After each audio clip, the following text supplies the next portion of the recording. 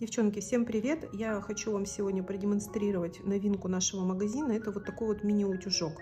Вообще он используется для пичворка и был придуман для пичворка.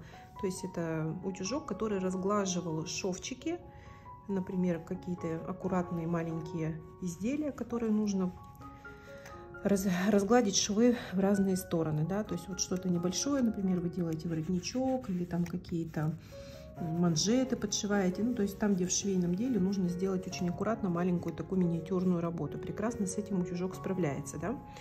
Но э, мне показалось, что это очень полезная вещь. В свое время я несколько лет назад это придумала. Вот.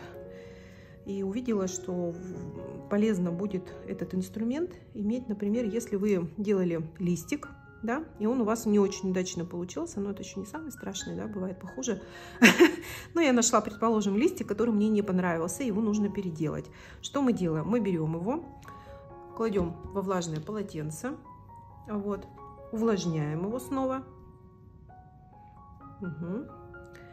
И затем берем, нагреваем этот утюжочек и разглаживаем все свои недоработки, исправляем все линии неудачные. Прекрасно он с этим справляется, как вы видите, за доли секунды. Особенно это полезная вещь для новичков. Да и, знаете, я вам честно скажу, что я иногда переделываю какие-то детали, потому что, ну, что-то пошло не так, вот не нравится, и все лучше переделать. Вот так погладили. Для новичков вообще вещь незаменимая. То же самое касается, например, каких-то лепесточков неудачных. Но это может быть не самый неудачный, но как пример, просто чтобы показать вам. Снова укладываете во влажное полотенце. Увлажняете. Так. Берем снова ультратонкую пяточку.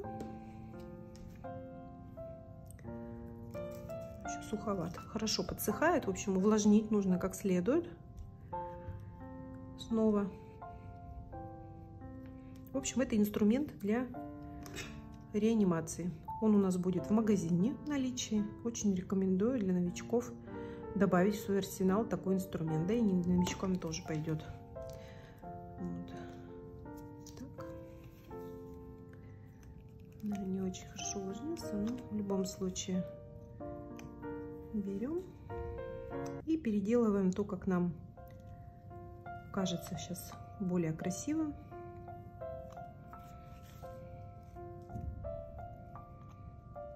Делаем другие линии.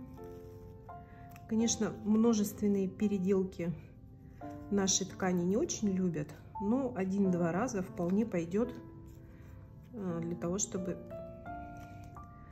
поправить наши какие-то детали. То есть, если у вас что-то не пошло не так, вы мне показали, например, свою деталь, и я сказала, что нет, не, не очень хорошо, листики надо переделать. Я считаю, что это прекрасный вариант для переделки. Вот, кстати, да, сравните, видите, разница какая. Вот. То же самое касается лепесточка. Например, что-то пошло не так. Не понравилась обработка, или вот вы собирали цветок, и, ну, кажется вам, что не хватает чего-то, может быть, больше забулить или еще что-то аккуратненько отглаживаем. Стараемся не оставлять никаких следов, сильно не давим. Разгладили все линии и снова увлажнили и обработали.